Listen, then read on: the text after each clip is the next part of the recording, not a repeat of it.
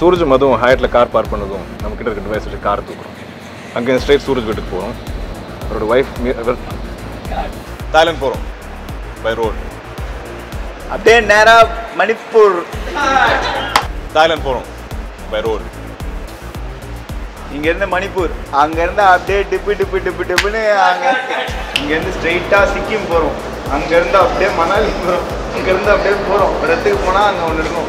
அதுக்கப்புறம் trip trip trip இந்த மாதிரி ஏதாவது நடந்துச்சுன்னா நம்ம நோட் பண்ணிப்போம் தெரியும். அதனால் சரி அடுத்து சொல்லுங்க. எவ்வளோ தெரியாதா? இப்பதான் தெரிஞ்சிச்சுல்ல வேணாம். எவ்வளோ எம்ஏ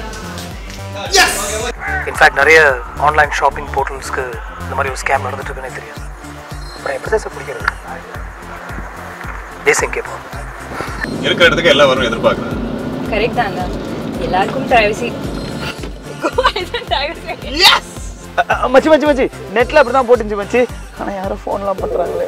எங்க கிட்ட நடிச்ச பணத்தை உங்களே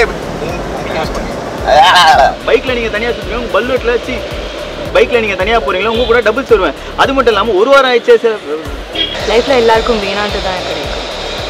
ஆனா இவங்க நீ சொல்றது பார்த்தா நாங்க ரெண்டு பொண்ணுங்க நம்பி கோவா கொண்டு போய் கையில இருக்கலாம் எழுந்துட்டு ஒண்ணுமே நம்ம வந்து மூணு நேரத்துக்கு ஐம் சாரி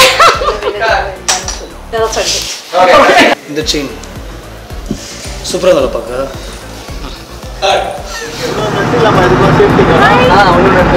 ரோலிங்ல தான் இருக்குல்ல? ஆமா ரோலிங்ல தான்